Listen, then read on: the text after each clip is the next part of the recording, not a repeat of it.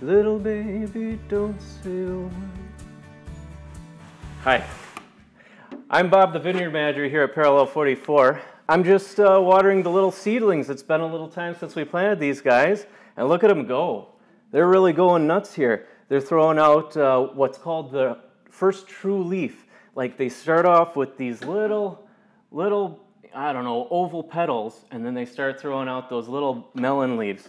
So it's been, I don't know, a couple of weeks since we last put these guys in the ground. I still have them on the growing mats in here, and I still have them underneath the growing lights. It's not quite hospitable, hospitable enough outside yet for them, but soon enough it will be. Uh, but we have made progress. We've, uh, we've got their bed set for them outside, so why don't we go outside and, and see what, where these guys are going to eventually be uh, growing. All right, here at Parallel 44, I always like to say that we're breaking new ground, and I mean that figuratively, and today, literally.